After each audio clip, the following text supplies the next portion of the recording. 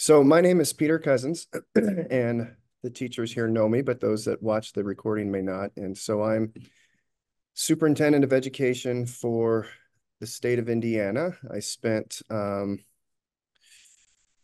13 years uh, as a teaching principal in a junior in two different junior academies, Indianapolis Junior Academy, where Mrs. B is, and in Tri-City Christian Academy in the Carolina Conference. And uh, that school eventually became a full day academy after five years of being there. So uh, I'm pulling on the experience from that, and I'm I'm going to try to share with you a little bit about school boards and incorporating into that uh, home and school, and um, following that. So school boards have personality. That's one of the things that you need to learn as you work with different school boards. Some school boards are laid back. Some school boards are take the lead, and you're you're trying to keep up with them. Um, some school boards will have no idea what you're doing, and they're happy in that space. And um, some school boards, uh, you know, they they will think they know what you're doing, but they may or may not. So you've got all these different personalities of school boards as you work with your school boards you know, um, that can change in your location depending on how many different churches you have. My the personality of the school board I had at Tri City, there were five constituent churches, and it would change as people came and went on the school board. And so um, I'm at Cross Street, and Lisa just popped in, FYI. So she's closing the door. See ya. I wanted to share this with you. Who do you work for? when I was at Tri City, there was uh, one of our board members was a, was a retired fire marshal for the city of High Point, which was one of our churches, and he was very much like to be in control. And we were changing the the the structure of how locally funded employees were paid. And the treasurer and I had worked on it, and we didn't really have a good solid number. And he was getting frustrated. And after the meeting, he came up to me and he said, if you worked for me, I would fire you. And his name was Max. And I said, Max, if I worked for you, you would not have to fire me. so who do you work for? You know, you, you have to realize that you don't really work for the school board in a sense, you work with the school board. And you guys, you, you as a principal and your school board are partnering together to do the best you can do to lead children to Christ. And so when you're working with your school boards, you have to remember that you're working together. It's a partnership.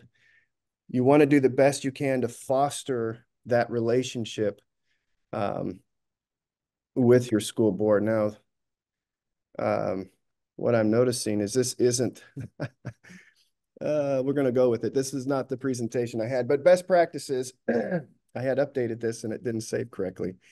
So one of the things you need to do uh, with your school board is you need to get on God's agenda. Sometimes it's really difficult. And I and what I'm sharing this about getting on God's agenda. There's a book, Spiritual Leadership, that really highlights this idea. You know, sometimes you can want to do good things, like King David wanted to build a temple, which was a good thing. We read in our Sabbath school lesson this last week, Peter uh, there at the Transfiguration, he wanted to build a temple uh, for Moses and Elijah, which is a good thing, but it's not a God thing. And sometimes, if we're not careful, we can get caught up doing good things that might not be on God's agenda. And it's really difficult sometimes to know the difference. And the reality is, the only way to know the difference is by prayer. I remember when I first got to Tri City, um, you know, I, I needed to know, Lord, I was praying, God, what is what is my mission here? What what do you want me to accomplish here through me, through the board? What what do we need to do? And I had had conversations with the school board chair. I'd had conversations with parents and students, and you know they had been talking about building a new school for ten years. And I remember I was I was driving into school. I was at a stoplight. I can still see it in my mind. Praying, God, what do you want me to do? What what direction do you want us to go? and like a like a an impression not i didn't hear it but an impression it god said build my school and brian hall will help you that's what it, that was the impression I had. Now, Brian Hall was somebody who had not been very involved in the school, but was starting to come back to the school. And I can tell you five years later, that's exactly what happened. Brian Hall came onto the and became our our chair of our um, building committee brought a brought a, a a sense of professionalism, brought together a team, and God just put all the right pieces together. It wasn't any one person, but God brought the right team together. And once we had the right agenda, God's agenda, things just flowed. Things just happened. So you've got to you've got to prayerfully find your way onto God's agenda for your school. You have to cast the vision as the leader. And you have to prayerfully ask God to give you that vision uh, for the school, and he will. And uh, then doors will open, things will things will happen um, that you never thought would be possible. Another best practice at your school, and what we're talking about is building these relationships, building trust, building um, respect between you and your board. You need to be visible at your churches and you need to be visible as a spiritual leader. It's not enough just to be there you have to somehow find your niche as a spiritual leader. And that can be a million different things. There's no one set thing that you can do to do that. I had five churches at the last school I was at. I had to visit all five churches. I would go and preach at the church where I had my membership. Excuse me, I taught adult Sabbath school because I love doing that and I still teach adult Sabbath school. Just love doing that. But you find some way to be visible and to be a spiritual leader in your church, uh, and that will go a long way. Um, it's also a good best practice to have regular pre-board meetings uh, with your board chair, uh, maybe a week before the, the board meeting. You don't want to get into a school board meeting and the board chair has no idea what you're talking about you and your school board chair need to be on the same page and and there needs to be no surprises between you. And your board chair will have your back and you need to have your board chair's back and you just you just need to mesh as a team. Your treasurer also it's good to meet before with your treasurer. Some of these meetings are don't have to be formal meetings these pre-board meetings. This could be a five minute conversation. This could be a uh, the the board chair is picking up their kids at the school and i'm out uh, talking to them at the car, just, hey, here are the three things we're looking at at the board meeting. The treasurer, you know, we, we, we, it, it might be more formal. It might not be so formal. It's also if there's some issue that's going to involve certain church members that belong to one of the pastor's churches, it's good to meet with the pastors before that board meeting and say, hey, you know, Johnny, there's a discipline issue coming up. I just want to give you a heads up what we're going to be talking about and and so your pastors are involved also. It's good to, to do that. Your home and school leader, home and school can be a big part of your of your school.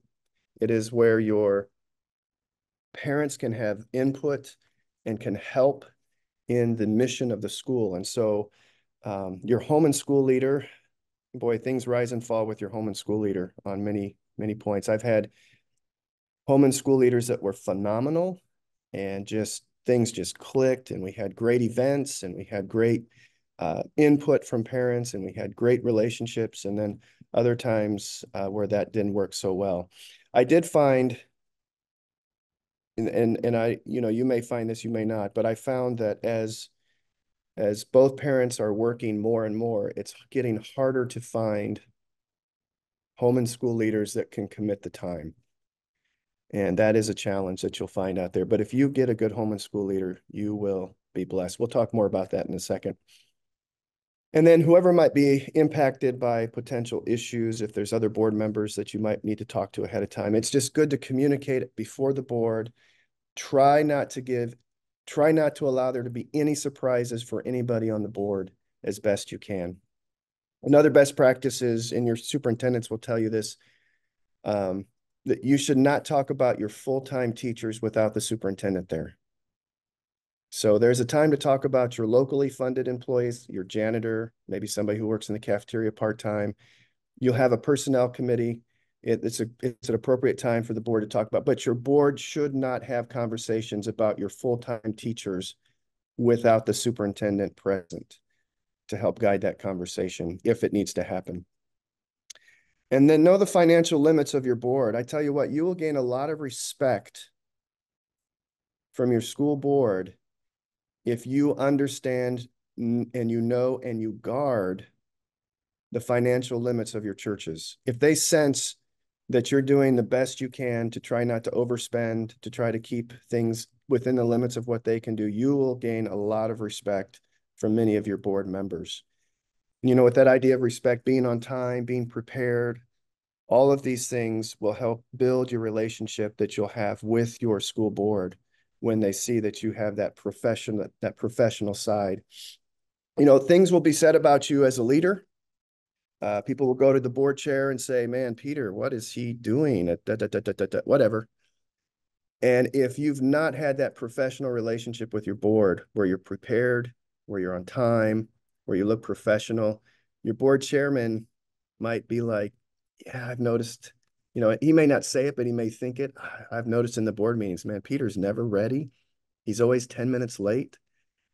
Yeah, what you're saying is probably true about him so these these relationships that you build these practical things that you can do can really strengthen those relationships and actually protect you and your um, reputation uh, with your board members as they work with you they will gain respect by how you treat them so board minutes are very important also uh, as a principal you are the board secretary and i always found it very difficult to be engaged in conversation and take minutes.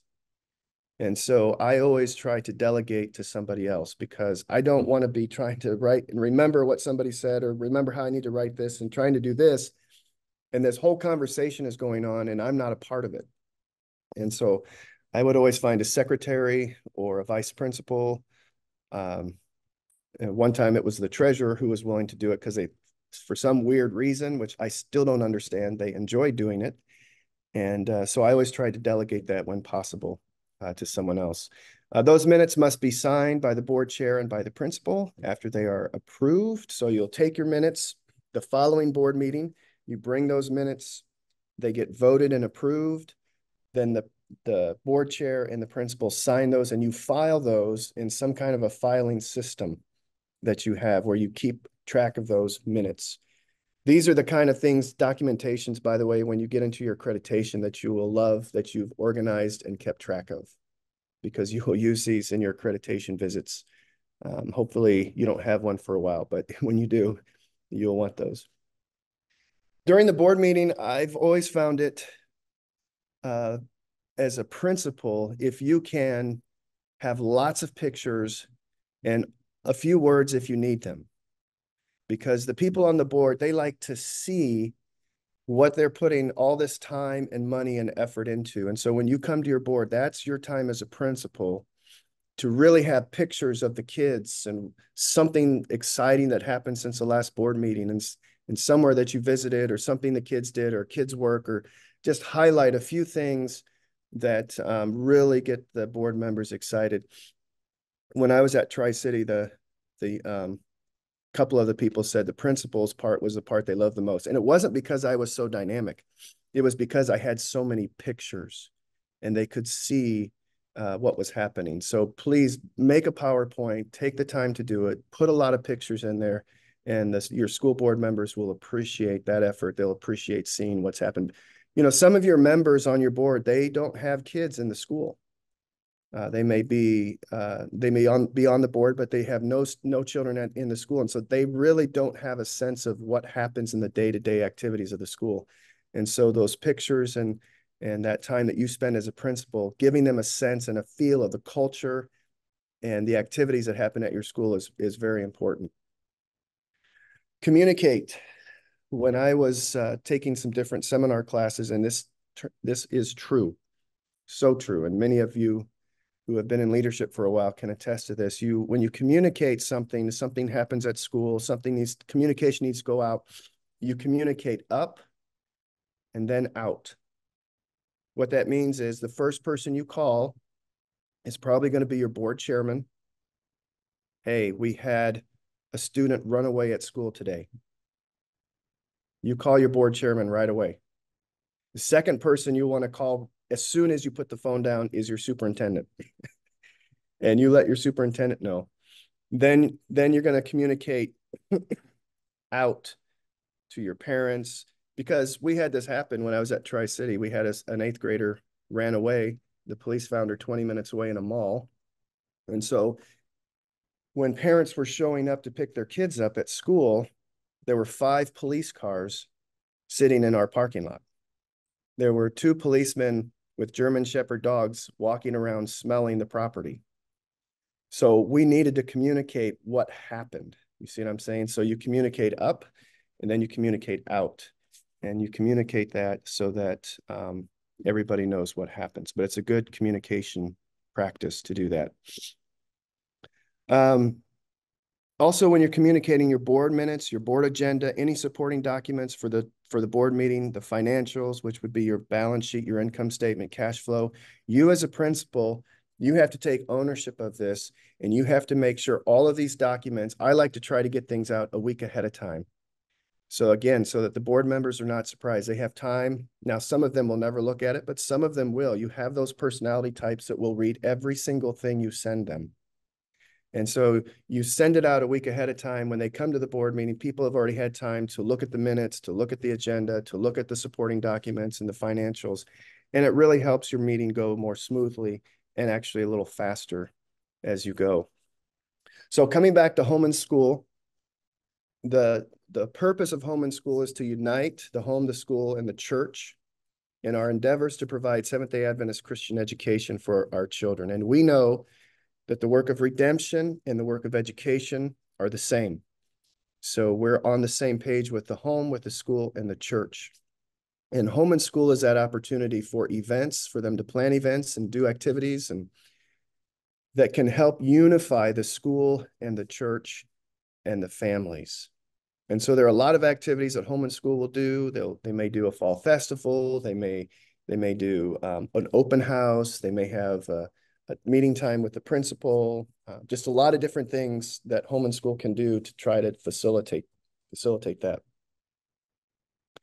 Now, one of the things um, it's important to do with home and school is to make sure that you also are on the same page. So I've got a picture here of this of this kiln that you know it cooks clay. This is what it's a weird thing to have for home and school, but I put it there to remember the story.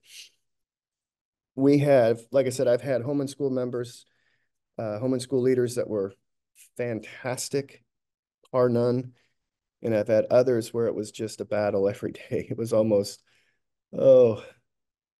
So we were sitting in a board meeting and this this uh, lady who was our home and school leader, she says, she speaks up and she goes, "Oh, I I uh, I got a gift for the school, and I have this new kiln that I was able to get and purchase, and I'm donating it to the school." And so she had done all of that, raised money for it, paid for it, got it for the school, and that was the first time I had heard about it. So it was a nice gesture, but there were some practical issues with that. Number one, it was it needed gas. Um, it was a gas. It was one that ran on gas, and we didn't have a gas hookup. And the room, the art teacher that we had there, she didn't have room for it, and she didn't want it. So now I'm in the middle of trying to accommodate uh, the uh, home and school good intentions of trying to give the school something and the art teacher that says, absolutely not, will that be in my art classroom? and so I'm thrown in the middle. So it's very important to have, yeah, i I learned through that experience, I needed to be more proactive in communicating with the home and school leader to make sure that I knew what was going on and I could put input into what was going on and I can help guide and mold and direct the direction the home and school was going. But home and school when done correctly, can be a powerful aid for your school and can benefit your parents and your students and your staff as far as that goes. So I'm winding down. I wanted to share some uh, resources for you guys. If you if you just do a search for NAD Adventist Education Resources, this website will come up. And then if you go to educators uh, up there, the, and then you go to handbooks or resources, then handbooks. All of these handbooks are here for you. You don't have to reinvent anything. You've got a handbook for principals. You've got a handbook for Home and School Association, and uh, you have a handbook for school boards. And so you can access those. I found it very healthy. These are at the covers of the of the manuals that they have there for you. I found it very good to give these what I would give if I had a new home and school leader or even a returning home and school leader. I would give them the manual, I'd email it to them. And then school board members, they all got a copy of the manual for school boards.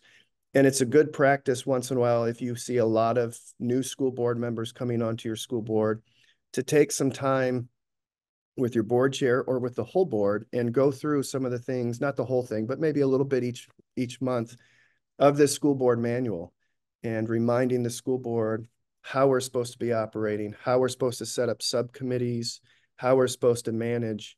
Um, it's just a good practice to get those resources into uh, their hands so that you guys can all be functioning on the same page.